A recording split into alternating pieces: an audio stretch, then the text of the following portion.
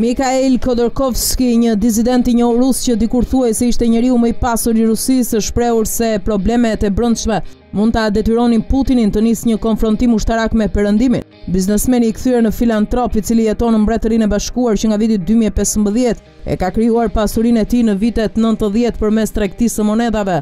Sipas Vanity Fair dhe gjithashtu drejtonte kompaninë e naftës Yukos, ai ka qenë një kritik i hapur i presidentit rus që kur ai mori pushtetin.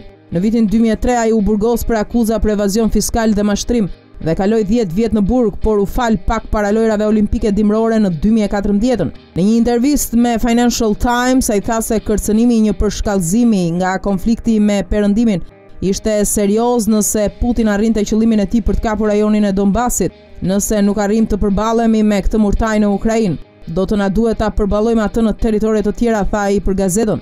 Ai është shprehur se nëse Putin do të fitojë luftën në Ukrainë, problemet e brendshme do ta detyrojnë të nisë luftë me NATO-n. Me siguri Putin do të humbasë përfundimisht. Nëse ai fiton tani në Ukrainë për shkak të problemeve të brendshme, do të nisë një luftë me NATO-n dhe ai përfundimisht do ta humbasë atë luftë, shtoi ai. Paralajmërimi i tij erdhi pasi sekretari i përgjithshëm i NATO-s Jens Stoltenberg U kërkoi liderëve perëndimorë të vazhdojnë mbështetjen e tyre për Ukrainën, pavarësisht kostove të larta ekonomike të një konflikti të zgjatur.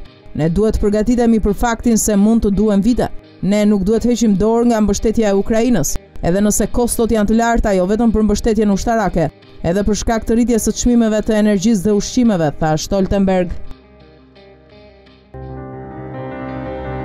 Pamfleti është një platformë mediatike analitike që u lind si domosdoshmëri e një tribune pa kompromis, si një zë i fuqishëm në luftën pa ekuivok ndaj krimit dhe korrupsionit politik në Shqipëri.